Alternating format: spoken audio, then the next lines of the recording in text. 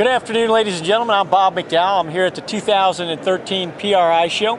I'm here with USAC driver, uh, midget driver, sprint car driver, Tracy Hines. Tracy, tell us a little bit about uh, you and your programs.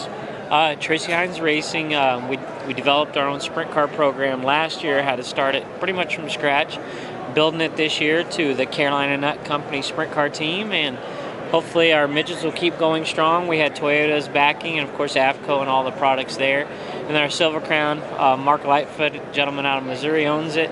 We take care of half the team. He takes care of half as far as the cars go, and I had really good seasons. Um, had potential championship runs. It came up a little short, but you know it was uh, top five-ish in all three, and uh, very happy to go on next year.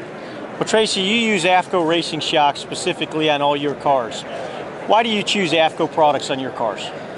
Uh, for me, it was um, there was a few basic reasons. One was they were willing to work with us as far as if I had some ideas, I could call the, the sales staff. They would get me to the right people.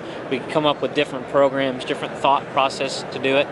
Also, they offer um, probably one of the best alone shock, meaning best for its uh, small body gas, just best for for what it is, the quality, the efficiency of it. Um, you never have to rebuild them. They'll go all season unless you bend them. They don't need anything. But then you add on top of that, they were the least inexpensive. And, and I separated those on purpose. Okay. Because I didn't want to say the best for the price, because it's not necessarily true.